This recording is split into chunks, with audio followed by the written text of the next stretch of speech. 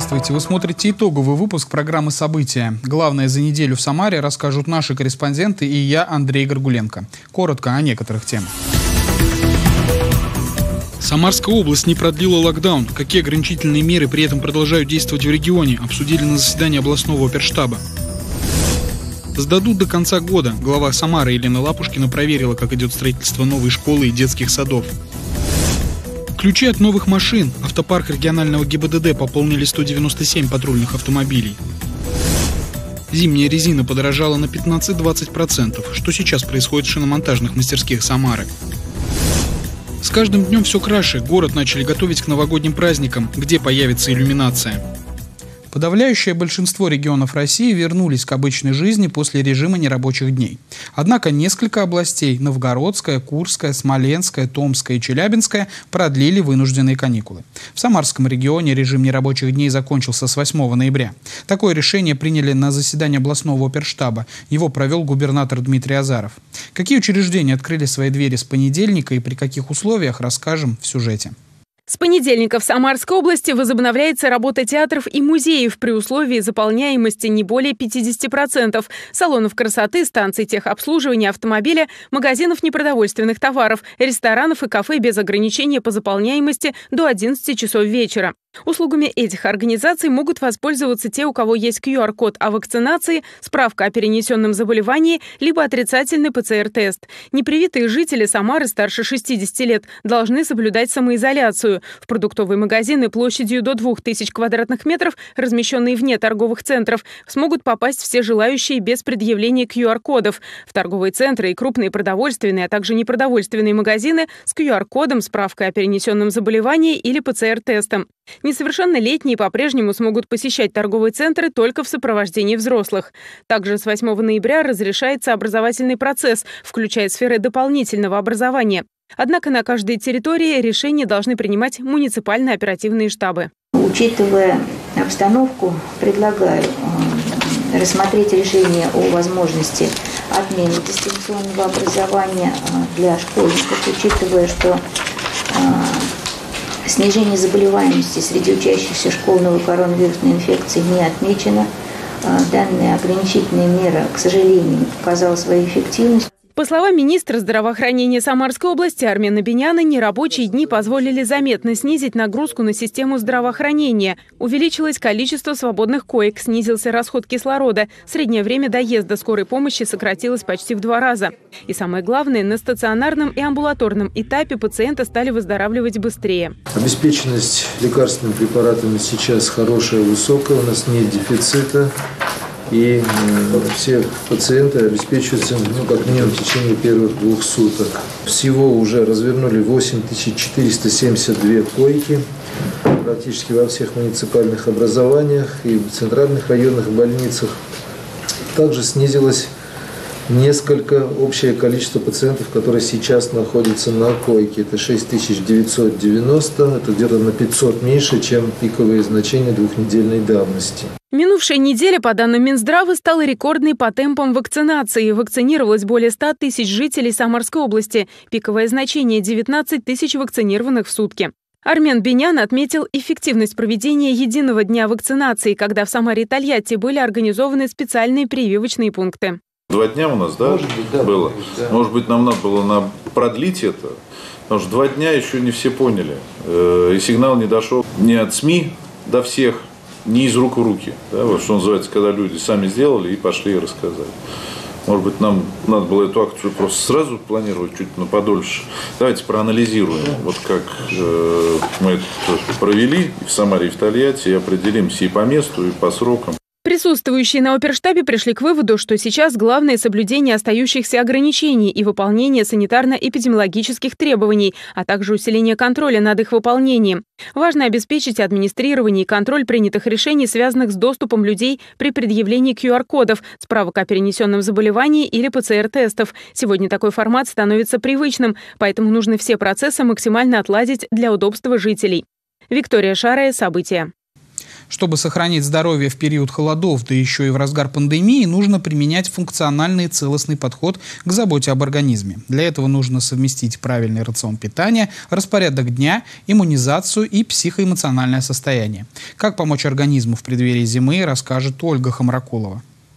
Уже в конце недели синоптики обещают снег в Самарском регионе, а значит, пора активно укреплять иммунитет. Не болеть зимой просто, считают эксперты. Главное – следовать правилам. Соблюдать режим сна, больше двигаться и одеваться по сезону. Но главным оружием для защиты иммунитета является вакцинация. После прививки иммунная система человека узнает врага в лицо и при реальной встрече с ним будет на чеку. А пока организм занят выработкой антител, стоит относиться к себе с большей заботой. Нет ничего лучше это хорошего, здорового сна, не менее 7-8 часов подряд в день, свежий воздух, прогулки по свежему воздуху. Также необходимо правильное питание и прием поливитаминных комплексов. Медики советуют не перегружать организм тяжелой жирной пищей, такой как копчености, жирная свинина, жареные блюда, сладости и алкогольные напитки. Зимой врачи-диетологи рекомендуют включать в меню мед, цельнозерновые каши и сухофрукты, изюм, курагу, инжир, богатые магнием и калием. Мясоеды должны переключиться на мясо кролика, говядину или курицу. Особенно полезной будет морская рыба, богатая йодом, что также важно для щитовидной железы. Также к холодам важно укрепить кости и суставы. Стоит отказаться от таких вещей, как соль, уменьшить употребление и больше горячительных продуктов в плане, допустим, тушеная капуста, то, что добавляется куда куркума, то, что подогревает нашу температуру, так сказать, кроме верхней одежды, ну и повышает иммунитет, кальций обязательно. Где он у нас обитает? Это в молочных продуктах.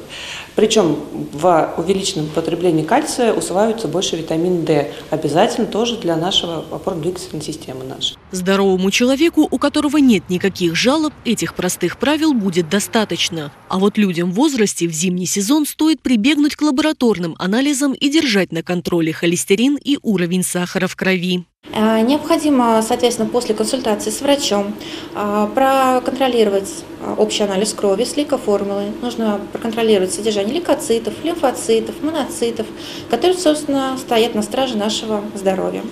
Кроме этого, уже в зависимости от сопутствующих заболеваний необходимо проконтролировать биохимические анализы, коагулограмму, но опять же это только после очной консультации с врачом. Важная составляющая здоровья – позитивный настрой. Доказано, если человек регулярно испытывает негативные эмоции, защитные функции организма будут снижаться. Поэтому учитесь справляться с повседневными стрессами, говорят эксперты. Среди эффективных способов – упражнения, медитация, йога, массаж и плавание. Ольга Хамракулова, Григорий Плешаков. События.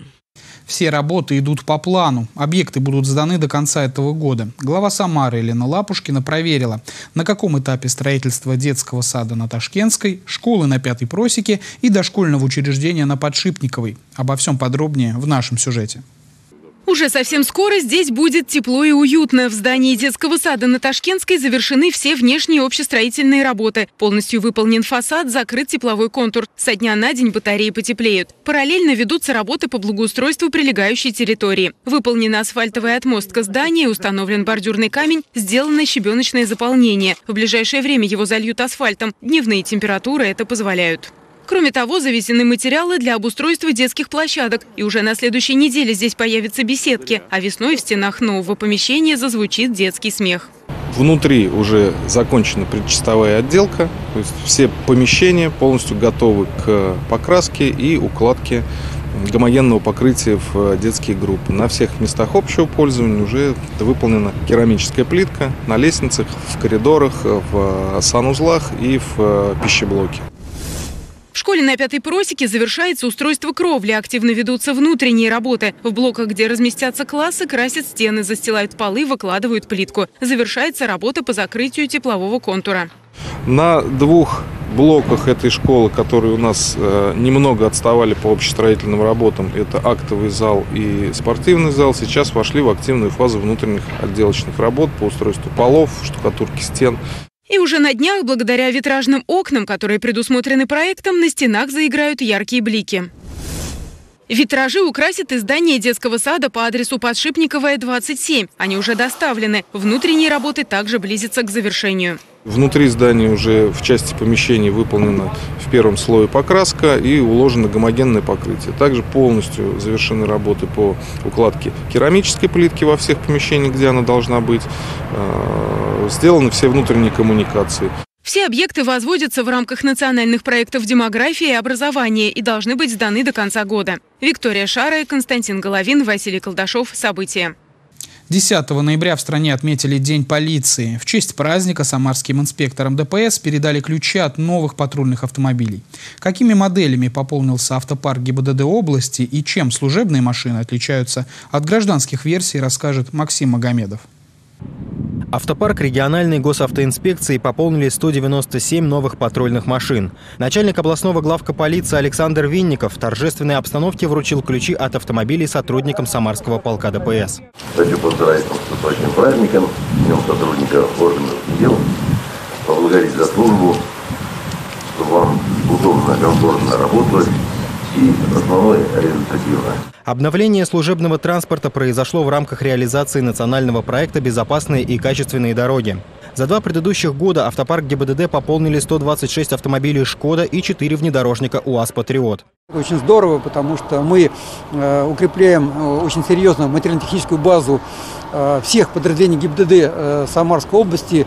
Это, конечно, позволит сотрудникам ДПС на маршрутах патрулирования более качественно, более эффективно нести службу Э, соответственно, предупреждать, э, пресекать, выявлять э, нарушения в области дорожного движения. Автомобили направят во все подразделения области, где они требуются. Старые, но еще пригодные машины передадут в другие структуры, а те авто, срок у которых вышел, спишут. Срок службы новых патрульных машин составляет 5 лет или 200 тысяч километров пробега. Это современный автомобиль «Лада Веста». На нем стоит установлен максимально возможный двигатель. Для этого автомобиля 1.8 максимальной мощности. Э, от гражданского он отличается повышенным дорожным просветом. Э, полностью автомобиль укомплектован для несения дорожно-патрульной службы. Самарская область в лидерах по количеству обновляемого автопарка. За последние два года заменили 30% служебных машин во всех подразделениях Министерства внутренних дел. За три года службы в ГИБДД Александр Быстряков успел оценить несколько моделей патрульных автомобилей. Мы очень рады Ладвес на самом деле, потому что предыдущие были Лада Гранта, Лада Приора. Приходит смен новые патрульные машины э, с высоким клиренсом, 203 э, миллиметра, что очень важно для наших э, дорог, и потому что службу приходится нести не только по хорошему покрытию, но и в местностях, где песчаный грунт. Для фиксации правонарушений на автомобилях установлена камера кругового обзора. Также смонтирована камера внутри салона. Патрульные машины оборудованы современными светодиодными маяками. Благодаря применению новых материалов при нанесении цветографических схем на борт патрульного транспорта, он стал более заметным на дороге в темное время суток. Для комфортного несения службы зимой автомобили оснащены подогревом лобового стекла, сидений и руля. В багажнике есть отсеки, в которых хранится необходимое оборудование для оказания помощи пострадавшим в результате ДТП. Максим Магомедов, Максим Гусев. События. Самарские водители после локдауна начали активно переобувать авто. Работники шиномонтажных мастерских обслуживают более десятка машин в день. Также из-за большого количества желающих в шинных центрах наблюдается дефицит зимней резины, а цены на колеса выросли на 15%. С подробностями Никита Колосов. Автомобилист Александр Петров за рулем уже более 20 лет. Каждый год с наступлением холодов и первых заморозков спешит сменить летнюю резину на зимнюю. Говорит, что от этого зависит безопасность передвижения по заснеженным скользким дорогам. Зимы разные бывают, суровые, и это гололед на дорогах, вот тебе и кузовные работы.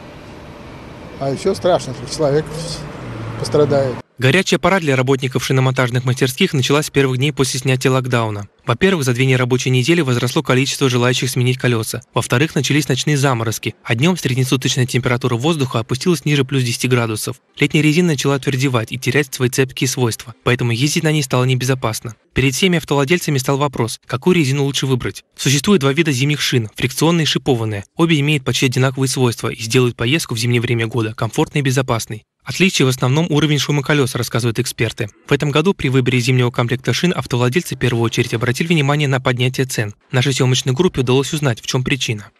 Подорожание шин в основном связано, да, которое с рядом факторов. Да, у нас подорожало абсолютно все там. Э, подорожал металл, тот, который присутствует в шине, подорожал каучук, да, как вот в процентном соотношении, из чего состоит шина. Э, компоненты, что подорожали, это отразилось на себестоимости э, продукта самого.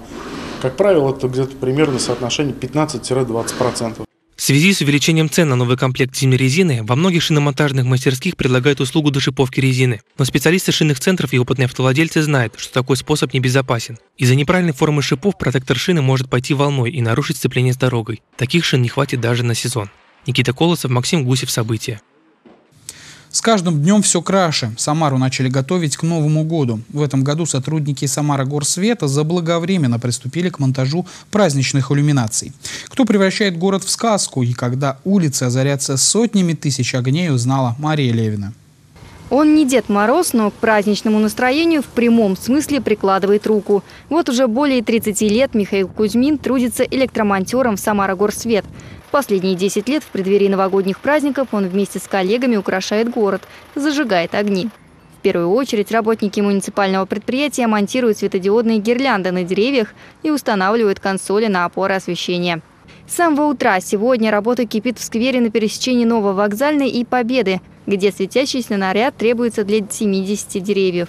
Длина одной гирлянды 15-20 метров – на ствол, который предварительно опиливают, удаляя сухие ветки, в зависимости от его толщины вешают от 3 до 7 таких гирлянд.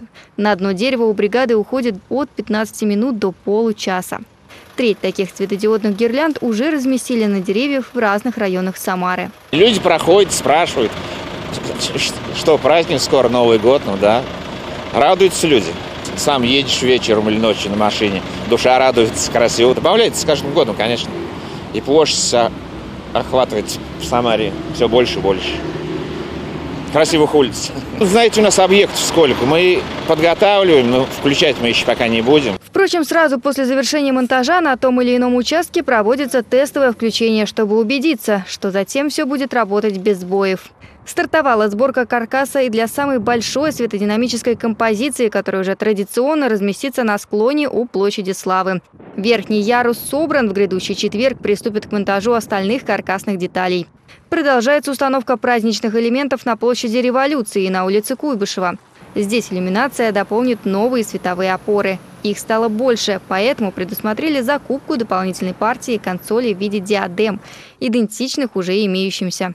Все украшения эргономичны и потребляют минимум электроэнергии. С каждым годом становится все больше и больше. В этом году еще купили очень много иллюминаций на всех общественных пространствах, которые в этом году были отремонтированы по комфортной городской среде, какой-то другой программе. Э, в этом году здесь ставим иллюминацию на вертолетной площадке, на фабрике кухни. На вертолетке много разной иллюминации, там и шишки светящиеся, и подарочки. Новая иллюминация появится и рядом с Дворцом спорта. Здесь планируется разместить новую инсталляцию «Коньки». Также новые украшения сделают еще более привлекательным облик сквера Аксаковых, где будет сказочное световое дерево. Сквера памяти борцов революции здесь планируется установить иллюминационную фигуру в форме елки и в других общественных пространствах, которые преобразились благодаря нацпроекту «Жилье и городская среда». Старые украшения тоже будут использовать при необходимости, предварительно отремонтировав. Сейчас восстановительные работы уже завершаются. В декабре все монтажные работы планируется завершить. Из Самара загорится сотнями тысяч ярких огней.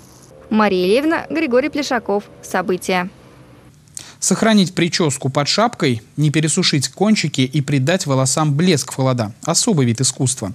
Холодный сезон часто становится испытанием для кожи головы и волос. Но эксперты заверяют, что есть много способов этого избежать. Как правильно ухаживать за волосами в осенне-зимний период, расскажет Ольга Хамракулова. Резкий контраст температур негативно сказывается на кровообращении кожи головы, как следствие выпадения волос или замедления их роста. Ветер и устойчивый минус за окном делают кутикулу волоса чувствительной к повреждениям, появляется ломкость и отсутствие блеска. Поэтому осенью нужно запастись не только бальзамом для волос, но еще и маской. Причем пользоваться увлажняющей зимой не стоит. Влага на морозе кристаллизуется и повреждает волосы изнутри. Лучше отдать предпочтение маскам питания питательным. При выборе шампуня стоит обратить внимание на бессульфатный, который мягче очищает волосы. Минимизируйте использование утюжка и плоек, а если без них никак, не ставьте температуру выше 180 градусов. Желательно а, защищать волосы перед сушкой, наносить средства. Ну, конечно, масло обязательно на кончике. Волосы обязательно нужно досушить, прежде чем выйти на улицу. И желательно не выпускать их, э, особенно когда сильные морозы. Лаки и муссы лучше использовать средней фиксации. При носке свитеров и шапок обязательно использовать антистатические спреи для волос. Опрошенные телеканалом «Самара ГИС» эксперты считают, что в этом сезоне пользуются спросом косметические процедуры для волос. Сейчас бьюти-сфера предоставляет десятки эффективных процедур по уходу. Ламинирование, глазирование, экранирование, биоревитализация и мезотерапия. Но в лидерах остается незабвенная классика. Это ботокс и кератиновое выпрямление. Подбирается все это по типу волос. Кератин больше направлен на выпрямление, ботокс на питание. Питает, увлажняет, закрывает кутикулу волоса. За счет этого они не цепляются, не ломаются, и можно отрастить хорошую шевелюру. Здоровые и красивые волосы – это результат не только ухода, но и правильного питания. Ешьте продукты, богатые кальцием и железом, говорят медики. Эффективно защищает волосы от повышенной ломкости витамин А. Витамины группы В подарят волосам упругость и блеск. В плане питания все это будет влиять от иммунитета. Чем больше мы будем есть витаминов, тем больше будем есть минералов. И правильно кушать белки и жиры, в частности, больше жиров и углеводов, тем лучше будут выглядеть наши волосы. Никто не исключает э, питьевой режим. Э, питьевой режим должен также сохраняться. Не стоит пренебрегать шапкой и шарфом, тем более, что они не мешают делать красивые прически. Для зимнего сезона отлично подойдут кудри и косички. Ольга Хамракулова, Григорий Плешаков, Константин Головин, Максим Гусев. События. В ноябре пианисты всего мира отмечают свой профессиональный праздник. Его установили по инициативе музыкальных сообществ для популяризации клавишного инструмента. Этот праздник появился всего несколько лет назад и еще не имеет официального статуса. Фортепианная музыка получила наибольшую популярность в XVIII веке, когда сформировался сам музыкальный инструмент, ставший логическим развитием своих предшественников клавесина и клавикорда. О том, как выглядит современный пианист и почему важно получать классическое образование и работать с педагогом, рассказывает расскажет Никита Колосов.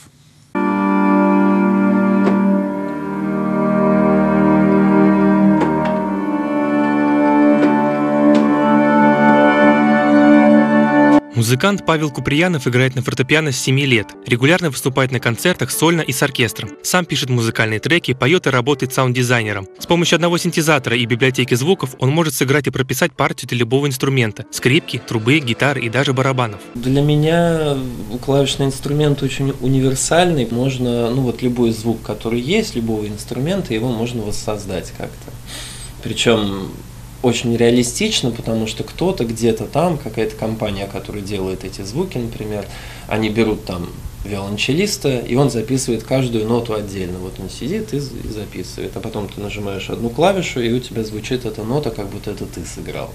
Постановка рук, знание аккордов и гармонии. По мнению музыканта, сегодня всему этому можно научиться самостоятельно, благодаря интернету. Но этот путь не для каждого, поэтому многие по-прежнему предпочитают заниматься в школе с преподавателем. Педагоги часто помогают раскрыть талант и привить любовь к музыке. Марина Калмыкова работает в детской школе искусств уже больше 10 лет. Она преподает вокал и игру на фортепиано. Тяга к музыке проявилась еще в детстве. В 5 лет Марина усидчиво пыталась подбирать на черно-белых клавишах простые мелодии. После того, как родители заметили это, ее отдали в детскую школу искусств. Уже после окончания музыкального училища Марина снова вернулась в родную школу, но уже в качестве педагога. Признается, что в жизни у нее есть две любви – это музыка и дети, и все это соединилось в ее профессии. Что касаемо игры на фортепиано, тут включаются очень большие такие нейронные связи. Для, мозга, для мозга это очень как бы полезно. Вообще математика и музыка, они идут вместе. И музыка как раз она развивает то же самое полушарие, что и отвечает за, за математику. В плане психологии, психиатрии для детей это просто вещь незаменимая. Для того, чтобы научиться играть на фортепиано профессионально, педагоги советуют заниматься только на классическом инструменте. Чтобы правильно тренировать свой слух и технику, важно ощущать вибрации, тембр и глубину звука. Но для создания новых, не похожих ни на что мелодий и ритмов, нужен уже синтезатор, который в соединении с компьютером становится MIDI-клавиатурой.